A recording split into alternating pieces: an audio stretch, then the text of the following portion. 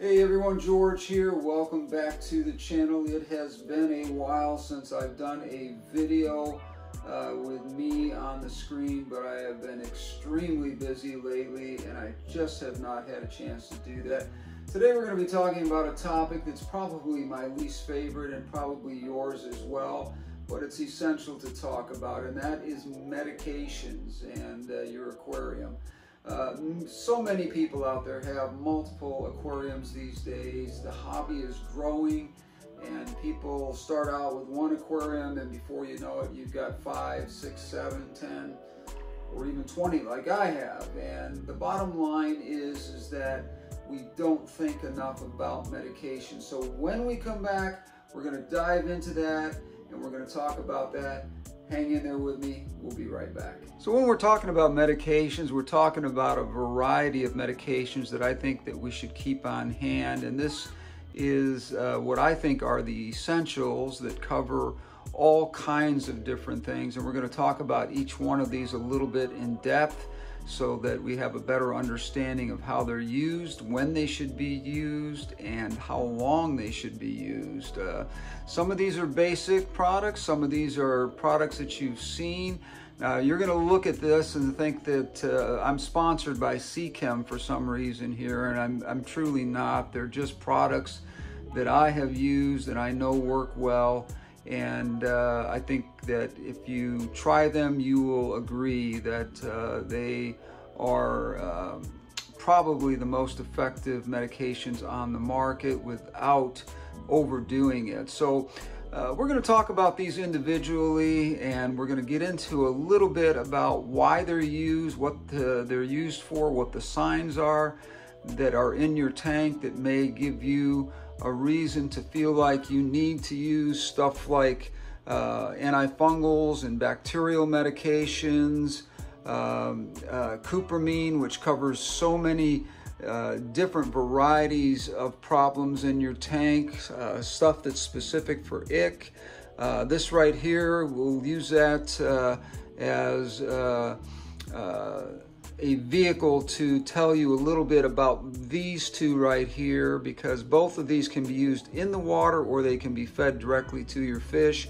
And this guy right here, I think is essential for any tank that is being quarantined or if you have put a fish in your tank and you are concerned that you did not quarantine it long enough, this is a very safe product. So when we come back, we're going to talk about each one of these and I'm going to dive into it one by one, uh, going from the least, uh, well, let's, let's put it this way, the least um, dramatic of all of the medications up to the ones that I think are going to have the hardest impact on your aquarium and only use when you absolutely need them. So when we come back, we'll start talking about these one by one. So as I said, I don't want to repeat myself a, a ton in this video because I want to get through it in uh, a short period of time, but I want to be very effective and very thorough about these medications and why you should use them, when you should use them, and how long you should use them. We're going to start out with this guy right here. It is a product by Seachem called ParaGuard. Now what basically this does is it uh, will tackle things that are uh, anything that is parasitical at all. Uh, I've even treated ick with this. I've used this for external parasites that you can see on your fish.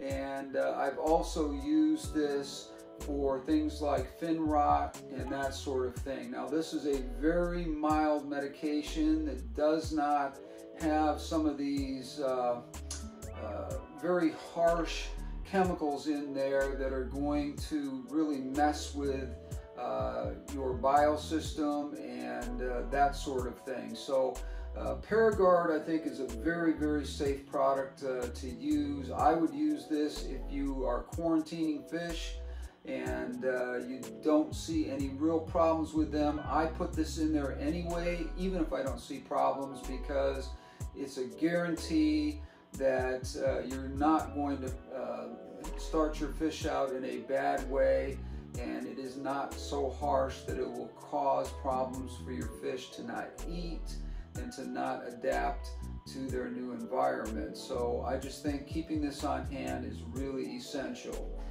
Now, one of the main problems that all of us face uh, in the hobby at one time or another is ick. And if you have ick in your tank, you know what it looks like. It looks like somebody sprinkled salt all over your fish and it happens so quickly. You can put your fish in your quarantine tank and all of a sudden a day or two later you wake up and you look at your tank and your fish are just covered in this stuff and you're like what happened Ich-X is absolutely the first uh, line of defense against ick and I truly stand by this product 100%. I have used this a couple of times. I've only had ick a couple of times in my tanks and uh, the times that I've had it, even if you have a planted aquarium, you can use this very safely and not worry about it. Same thing with the ParaGuard. If you have a planted tank, it's not going to harm it, but you do uh, want to follow the instructions on here and keep up the dosage on here to make sure that you have killed it uh, as best you can. Now, if you are using quarantine tanks or hospital tanks, try to not have a substrate at the bottom of your tank because that's a great place for it to hide. Turn the temperature up on your tank to about 84 to 86 degrees. It cannot live in those conditions. Use this along with it and you will 99.9% of the time you'll be successful in killing ick in your tank. So this is a fantastic product. I think uh, um, Cory at uh, Aquarium Co-op pushes this really hard. This is where I got the information about Ich-X and I have used it ever since Cory suggested it to me and uh, it's a great product. Now, if you have other problems, KanaPlex is a bacterial and fungal uh, powder that can be mixed into your tank. It's a little bit harsher. It does not harm, again, the, uh, the bio uh, load in your tank and does not harm that. But this can be a little bit tougher on your fish because anything, uh, anytime we're taking uh, uh, uh, any kind of antibacterials for ourselves, such as uh, things that we might use for a infection or whatever, uh, they can be sometimes very hard on our system. And uh, this is the same thing with these. They can be a little bit harsh. They're not typically going to be something that makes your fish go through a real stressful period. If you see any kind of stress that's going on in your tank, uh, when you add these to your, your fish uh, uh, tank and the fish are starting to look a little bit stressed, you want to make sure that you put some charcoal in there and get this stuff out of there as fast as you can because some fish just do not tolerate this very well. If you read the instructions on the back and follow the guidelines here, typically you're not going to see any problems like that. And again, this is for more serious cases. Now this can be added to the water, but it can also be fed to your fish. A lot of times it's you can't get your fish to eat. Uh, only certain things like live worms or, or frozen foods and stuff like that when they're not feeling well. These are foods that typically they can't resist. And what I recommend is you take some of this, um, Repashy, and uh, Repashy is a formula of um, it's like a bonding agent that will help make this medication stick to the foods that you're mixing it with and it'll turn into kind of a gel type thing so that when the fish swallow it they're guaranteed to get this medication. And that's why I really recommend that if you're going to make up a dosage of this stuff and you make up enough of it to last through the period in which they instruct on the back of this that if you use this and uh, put it in a container and uh, put it in the refrigerator. It will turn to a gel and you can just cut small little cubes of it out and feed it to uh, a particular fish. That way you're not, uh, you're not dosing your whole tank, you're feeding specifically to the fish that are affected, and this really works great for that. So the next one here, if KanaPlex does not work, Metroplex would be the next step up. This is a little bit more uh, oomph to it, I should say. Uh, it's got a lot of abilities to take care of fungal issues, to take care of parasitical issues, and bacteria issues. This is uh, something that uh, I really, really have found that if you have to go to this step further here, it is something, again, that will not affect the uh, bio load in your tank. It is also something that you can mix with Repashy and uh, get the same effect by directly feeding specific fish with that gel type uh, substance that uh, comes out of mixing this with frozen foods or whatever. And uh, as I said, you can direct it towards a specific fish and that way you're not treating your whole tank and those fish will noticeably improve within a day or two of receiving this. Now you can mix this in your water if you feel you need to treat the whole tank and you're concerned that your other fish may pop up with the same problems, then I recommend using this in your tank. Uh, but to be honest with you, the best results I have found is if you see a particular fish, get that fish out of there, put them in a quarantine tank, and direct that fish uh, by using this uh, with Repashy and feeding it directly to the fish. That way they get it internally, and they get it internally when they get it in the water, but it's just really not the same. Uh, this is a little bit more directed towards that particular fish, and it really helps a lot. And Metroplex, um, I have found that if the KanaPlex doesn't work, this will absolutely work really, really well. Now, the next one is um, made by Fritz, and it's called Maracyn Oxy, and there's also Maracyn Oxy 2, which I don't have.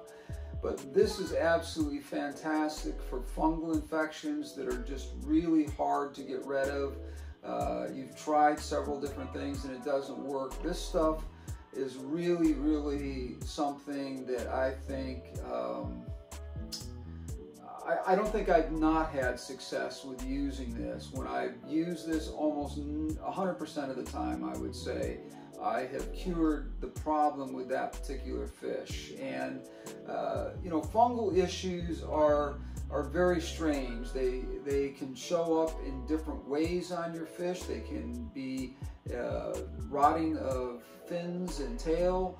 Uh, they can be spots on the side of your fish or patches on the side of your fish uh, that are very obvious. Uh, this also covers parasites as well. So if you see obvious parasites, and I'm not talking about ick in particular, I'm talking about other parasites that your fish may get, uh, this will obviously, uh, you know, be your last um, approach to that and uh, you should try other things first if you can, such as the ParaGuard, and uh, if you have ick, of course the Ich-X, and if you have uh, not tried the um, KanaPlex and the Metroplex, then um, you know use those first, of course. But this right here is absolutely a wonderful product, and uh, I, like I said, I've had 100%, 100% uh, effectiveness uh, towards curing any fish with fungal or parasitical problems uh, that are uh, you know something that is not a more serious condition that your fish uh, uh, are not going to get over without multiple um, medications added to the tank. Now, the last one I'm going to talk about here is cupramine. Now, cupramine has copper in it and I don't like putting copper in my tanks because it's not something you can add into a planted aquarium. You must use this in a quarantine or hospital tank. Try to use a bare tank if you possibly can because you don't want to use this uh, with plants and that sort of thing because it will kill them. I mean, it will absolutely destroy um, most of your um, your uh, bio load in your tank and it will also go after your plants. Your plants will yellow up and die off and uh, it will really raise havoc on your tank. So cupramine has copper in it. It's great for parasitic problems and things like that that uh, you just are not able to, for whatever reason, get under control with these other medications here.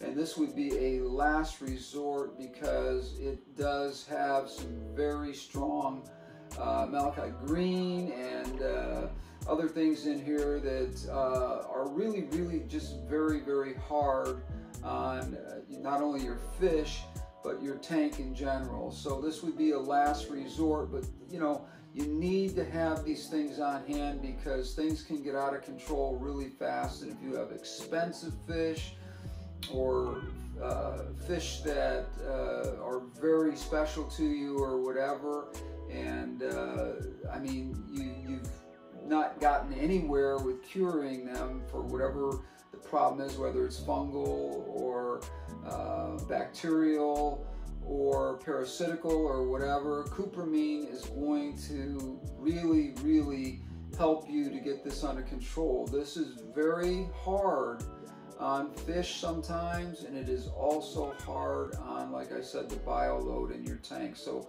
please use this in something besides your decorative tank or your community tank. Make sure your fish are isolated in a uh, quarantine or hospital setting and this will give you an opportunity to use this product without destroying your, your whole aquarium. Now, what I want to talk about in addition to the medications is some of the environments in which you want to use these in. Now, always with me, whenever I have parasitical issues or fungal issues, I try to turn up the heat in my aquariums and I try to go to about 86 degrees. Now, when you get to that point, 86 degrees means that water gets warmer, means that your fish's metabolism goes up, so you want to make sure you're feeding them uh, a little bit more than they normally would get because during that healing process, nutrition is important as well. So you want to make sure that your fish, because their metabolism is going to go up from that extra heat, that they're getting enough food. The second thing, and probably the more important thing of the two, is oxygenation in your water. You want to have an air stone in that tank to make sure that you're oxygenating that water because when you get to 86 degrees or above that, or even at 84 degrees or even in the low 80s, anytime you're getting into those ranges, oxygen levels go down and your fish will uh, be going up to the top and gulping with their mouths at the top of the water, uh, trying to get oxygen, and that's a clear sign that you've got a problem with oxygenation in your tank. So if you add an air stone, and I don't mean just a small little pump or whatever, I mean something substantial that really is going to push some good airflow through that water and create a lot of oxygenation. Try to get a stone that has the very fine, small bubbles in it so that it mists through the water. It's not real disruptive and stressful on your fish, but make sure you do have an air stone in there to uh, be sure that your fish are getting oxygenation. Now, the last thing I would tell you is I keep these on hand not because I have tons of problems with my fish. I have the occasional problem here and there when I quarantine or, or put fish in a hospital tank. Things pop up. Even in your healthiest of tanks, you can have things pop up. Having these things on hand is so important. And I would tell you, these two right here and one of these I would always have on hand, even if you don't have any problems at all, because the minute that pops up, you're going to find out it's probably going to be on a Friday afternoon or a Saturday afternoon, and you're going to close. The stores are closed on Sunday, and you can't order it in the mail because you can't get it fast enough. Having these things on hand is going to save you a lot of anxiety and stress because you know that you can treat these fish right away and you know that you've got a handle on it as quick as you possibly can. And uh, that is so important. Thank you for joining me today. If you have any comments, please leave them down below. I will put a um, a uh, area in the description section about each one of these products here and where you can get them and uh, which ones I think you should keep on hand. Again, I mentioned these two right here and one of these two uh, I think you should always have, but if you can't for some reason uh, remember that. I will put that down below in the description area and that will help you to uh, remember which ones those are. But again, if you keep these things on hand, you will save yourself a lot of stress and anxiety. Again, thank you for joining me today. Thank you for uh, being patient with me over the last couple of months. I haven't been on here much but uh, things are getting back to normal. Uh, life was a little crazy, a lot of things going on with family, a lot of things going on with the COVID virus, and uh, I don't want to get into all that crazy stuff. We're all fighting our own battles, but uh, I really appreciate you hanging in there with me on the channel. The channel's growing and uh, we're having a lot of fun with it, but I want to get back to some of the basics here and be talking about the things that are important to help you learn about what you need to do have a beautiful and a successful aquarium. No matter if you have one aquarium or you have 20 aquariums, it doesn't matter. It's all the same to me. Again, thank you for joining me and we'll see you on the next one.